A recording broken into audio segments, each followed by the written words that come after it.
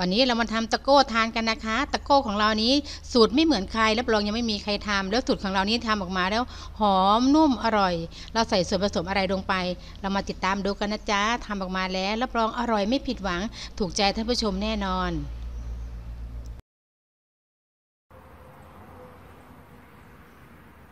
อันดับแรกนะคะ เราต้องทำแบบก่อนเราเตรียมกระดาษมานะคะ เอามุมๆนะคะ ใช้มุมๆจะได้ไม่เปลืองกระดาษมาก เราก็ทำกระดาษเป็นวงกลมนะคะ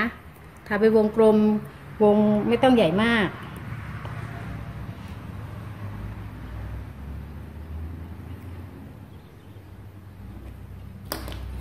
แต่แล้วเราก็ตัดนะคะ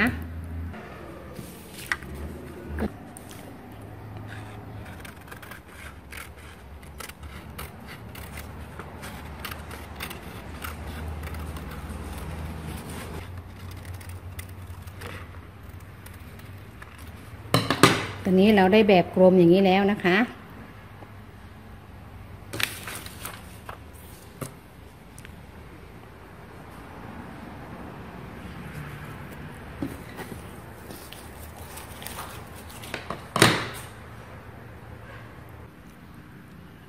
ต่อไปนะคะ เราก็จะมาทำกระทงมุมเดียว กระทงมุมเดียวใส่ตะโก้ วิธีการทำกระทงมุมเดียวนะคะทำง่าย บางคนก็อาจจะใช้กระทงสีมุมจากใบเตย แต่วันนี้เราใช้กระทงสีมุมนะคะ จากใบตอง วิธีการทำนะคะ เมื่อสักครู่นี้เราตัดแบบไปแล้วนะคะ ตัดแบบต่อไปเราฉีกใบตองใบตองที่เราฉีกนะคะ ขนาดเวลาเราฉีกเราก็เอาแบบทาบแบบนี้นะคะ ฉีกใบตองแต่แล้วใบตองมันยาวนะคะ ถ้าเราใช้แค่ส่วนปลายมันจะเปลืองวิธีการทำนะคะ วิธีการทำไม่ยากอะไรใบตองก่อนที่เราจะเอามาตัดก่อนที่เราจะเอามาทำกระทงนะคะ เราตัดเสร็จแล้วผึ่งแดดสักแป๊บหนึ่งให้ใบตองนั้นนิ่มๆนะคะ เสร็จแล้วเอาใบตองวางนะคะ เราก็พับ พับใบตองกลับขึ้นมาแบบนี้ เอาแบบทาบนะคะ แบบภาพให้เหลือริมนิดนึงริมนิดนึงประมาณนี้นะคะ อันนี้ซูมให้ดูใกล้ๆนะคะให้เหลือริมด้านนี้นิดนึง แต่แล้วเราก็ตัดใบตองเลย ตัดส่วนหัวที่ไม่ใช้นี่ทิ้ง แล้วเราก็ตัดเป็นวงกลม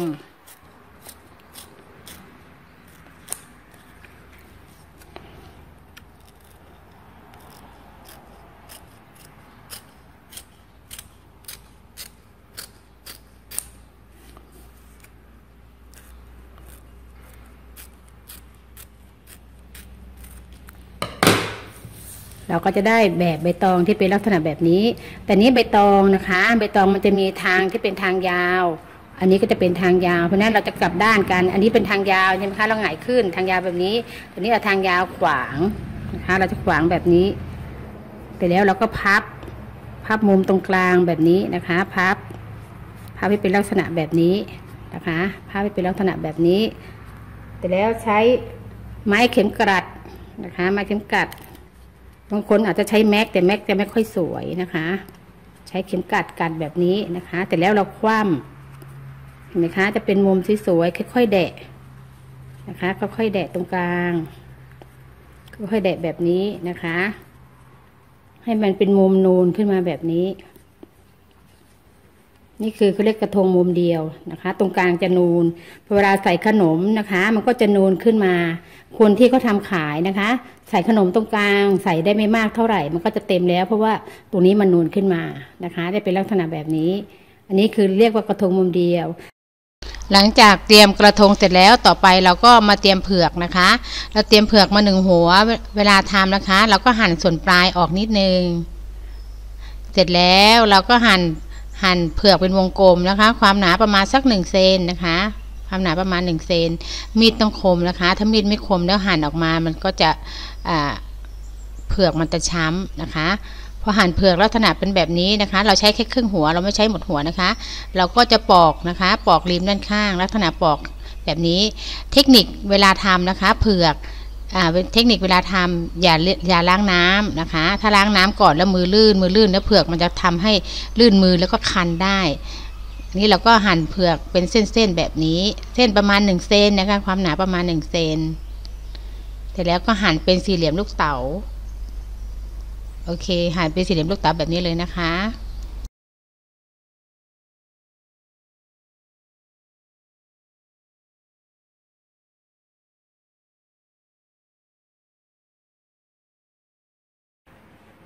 ต่อไปนะคะ เตรียมลังถึงมาเสร็จแล้วผ้าขาวบางเอาผ้าขาวบางมาวางน้ำเผือกที่หั่นไว้มาเทใส่ลงไปนะคะ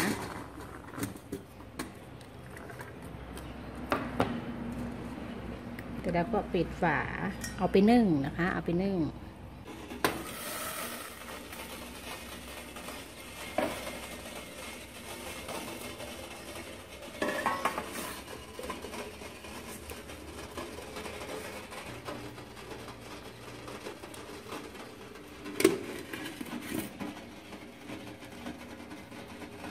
นึ่งประมาณสักเจ็ดนาทีนะคะ เราค่อยเอาออก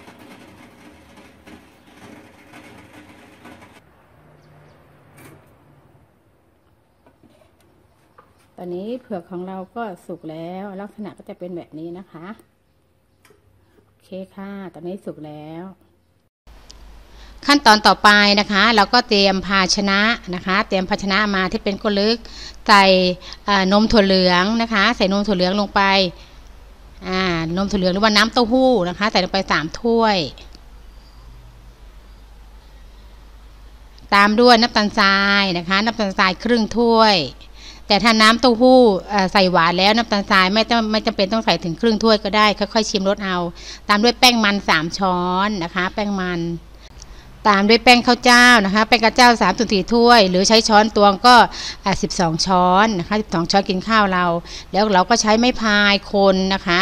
คนให้ส่วนผสมนั้นเข้ากันละลาย ให้เข้ากันเป็นเนื้อเดียวกัน โดยเฉพาะแป้งนะคะ แป้งจะละลายยากนิดนึงจะเป็นก้อน เราก็ต้องคนให้ส่วนผสมนั้นเข้ากันดีนะคะ คนไปเรื่อยๆพอส่วนผสมเข้ากันดีแบบนี้แล้วนะคะ ก่อนที่เราจะนำไปกวนนะคะ ขั้นตอนต่อไปเราต้องกรองก่อนนะคะ เราเตรียมภาชนะมากระทะมานะคะแต่แล้วเราก็เทส่วนผสมที่เราคนเมื่อสักครู่นี้นะคะ กรองพวกกันไม่ให้แป้งเป็นก้อนบางทีแป้งนั้นผสมไม่หมดมันเป็นก้อนจะทำให้ขนมเราเนื้อไม่เนียนอ่าเห็นไหมคะ แป้งยังมีค้างอยู่เราก็ใช้ไม้พายนะคะคนแป้งที่ค้างบนกระชอนให้ละลาย เสียดายนะคะ ทิ้งก็เสียดายอะคนให้แป้งละลายแบบนี้เลย ต่อไปเราก็นำไปกวนนะคะนำกระทะไปตั้งไฟแล้วไปกวน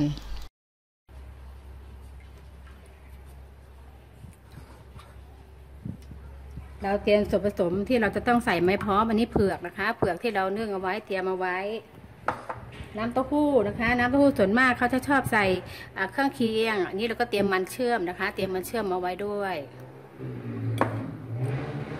นอกจากมันเชื่อมแล้วของเราก็มีถั่วนะคะ ถั่วแดงต้มนะคะ เราก็เตรียมไว้ เราจะมีส่วนผสมสามอย่างนะคะ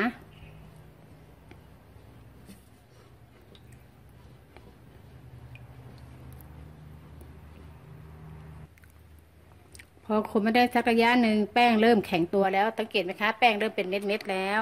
ถ้าแป้งเริ่มเป็นเม็ดๆอย่างแล้วอย่างนี้นะคะ ต้องรีบกวนนะคะ อย่าทิ้งเอาไว้ ต้องรีบกวน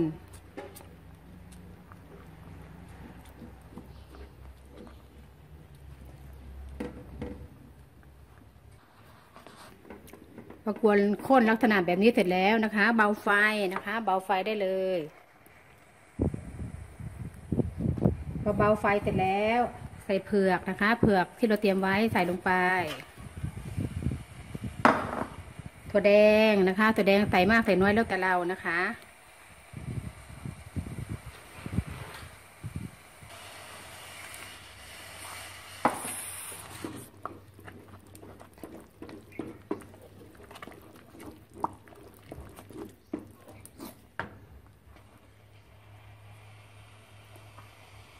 สร็จแล้วตามด้วยมันเชื่อม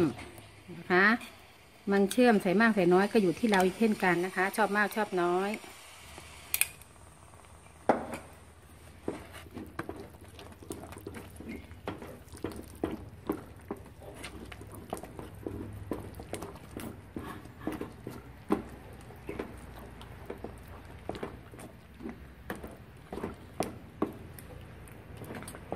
กวนจนส่วนผสมทั้งหมดเข้ากันดีแล้วก็ปิดไฟนะคะ ตอนนี้แป้งเราสุกแล้วนะคะ เราก็ปิดไฟได้เลยจ้า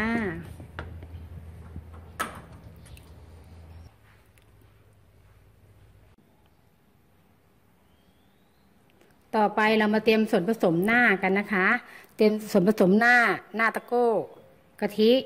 กะทิสองถ้วยครึ่งนะคะกะทิอ่ากะทิสองถ้วยครึ่ง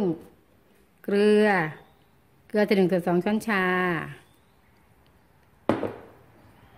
แป้งมันนะคะ แป้งมันสามช้อนนะคะ แป้งมันสามช้อน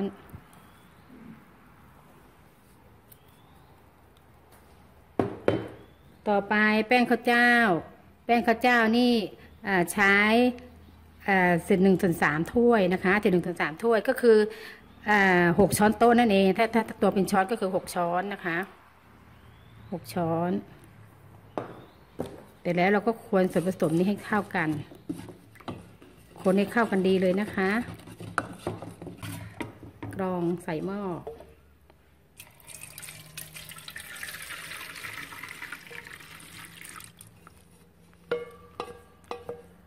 แป้งยังเป็นก้อนอยู่ละลายไม่หมดเห็นไหมคะ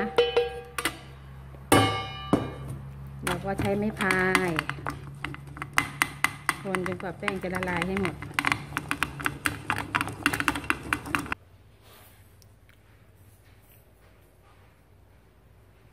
ต่อไปนะคะนำกะทิมาตั้งไฟนะคะ คนตัวนี่คนหน้านะคะ คนหน้า หน้าตะโก้นะคะเมื่อคู่นี้กวนตัวเสร็จแล้วต่อไปกวนหน้า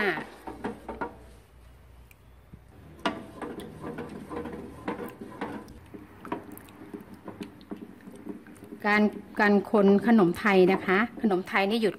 หยุดคนไม่ได้เลยนะคะ ถ้าหยุดคนเดี๋ยวแป้งมันจะจับตัวกันเป็นก้อน แล้วก็แป้งก็จะไหม้เป็นหย่อมๆขนมไทยนี่ตอนนี้หน้าของเราเริ่มข้นแล้วนะคะ เริ่มข้นหนืดแล้วสังเกตนะคะ เริ่มข้นหนืดแล้ว ยิ่งเริ่มข้นหนืดแบบนี้นะคะ เราต้องคนแรงๆคนเร็วๆ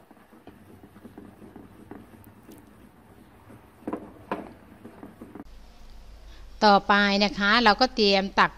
ขนมนะคะ ตักตัวก่อนนะคะ ตักตัวของตะโก้ใส่กระทงนะคะอ่าเรามาตักตัวใส่กระทงกันก่อนนะคะ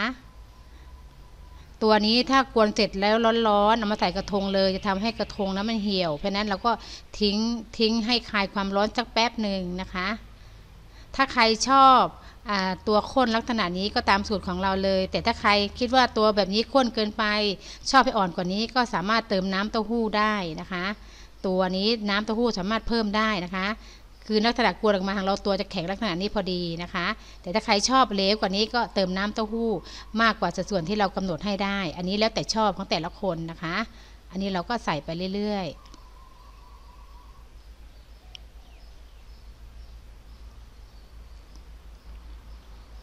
ใส่ไม่ต้องล้นมากนะคะ เพราะว่าเราจะต้องใส่หน้าอีก ตอนนี้เราก็นำหน้าหน้าตะโก้มาใส่นะคะ หน้าตะโก้ก็เช่นกันของเราข้นขนาดนี้กำลังดี แต่ถ้าเกิดว่าใครต้องการให้เหลวกว่านี้ก็สามารถเพิ่มกะทิได้นะคะ เพราะว่าพอเวลาเย็นแล้วมันอาจจะแข็งตัวนิดนึง แต่ของเรานี่กำลังดีนะคะ อันนี้อยู่ที่ความชอบสามารถเพิ่มเติมได้นะคะ สัดส่วนของเรานั้นสามารถเพิ่มเติมได้ อันนี้เสร็จแล้วจ้า ตกแต่งด้วยเม็ดถั่วแดง มันเชื่อมแล้วก็เผือกนึ่งนะคะ เห็นไหมคะวิธีการทำตะโก้สูตรใหม่ของเราทำจากนมถั่วเหลือง หรือว่าน้ำเต้าหู้หอมอร่อย เพิ่มคุณค่าให้กับสุขภาพของเราหลังจากดูคลิปนี้แล้ว อย่าลืมไปทำทานกันดูนะคะ ถ้าชอบวิธีการนำเสนอของเรา หรือว่าไอเดียแปลกๆใหม่ๆของเรา อย่าลืมกดไลค์กดติดตาม หรือกดแชร์ส่งต่อๆกันนะจ๊ะ พบกันในคลิปต่อไปจ้า